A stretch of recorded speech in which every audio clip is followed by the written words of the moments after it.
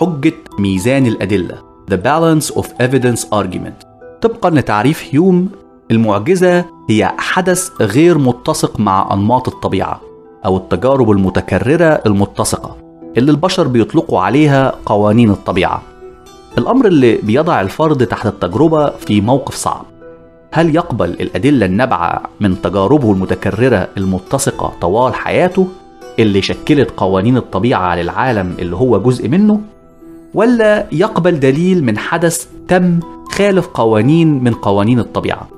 هيوم بيجادل إن باعتبار وزن التجارب السابقة خلال حياتنا واجبنا إننا نحافظ على الاعتقاد في قانون الطبيعة اللي نشأ من تجاربنا المتكررة المستقرة. ونرفض الحدث الفردي الخارق للقوانين أو بيخالف اتساق وتكرارية التجارب دي. من الممكن إننا نلخص حجة هيوم كالآتي.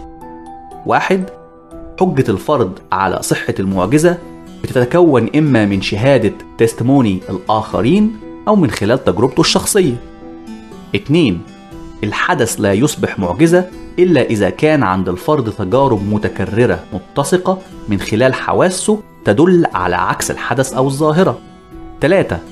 الأدلة النابعة من التجارب الحسية المتكررة المتسقة دائما أقوى من الأدلة النابعة من كل من شهادات الآخرين أو من تجربة فردية مستقلة 4.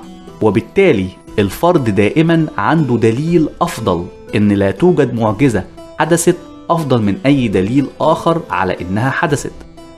خمسة الشخص العقلاني دائما ما حينسب اعتقاده إلى الدليل. A rational person always proportions his belief to the evidence. ستة إذا الفرد لا يمكن عقلانيا أن يقبل إن أي معجزة قد تكون حدثت. الحجة قوية جدا لأن فعلا من غير العقلاني إن الفرد يقبل دليل أضعف من دليل آخر. وما زال يكون شخص عقلاني لكن لو دققنا النظر في الفردية الثالثة في الجدلية هل فعلا من الصحيح إن الأدلة النابعة من التجربة الفردية أو من شهادات الآخرين دايما أضعف من التجارب المتكر... المتكررة المتسقة في الماضي؟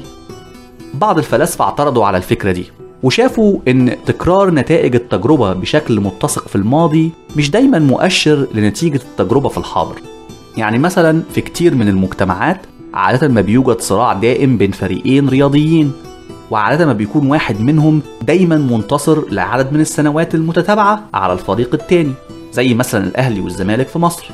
لكن من حين لآخر بيقوم الفريق التاني بمفاجأة الجمهور وينتصر على الفريق الأول بالرغم من خسارته المتتابعة لعدد كبير من السنوات في الماضي. تجربة نتائجها مستقرة ومتكررة.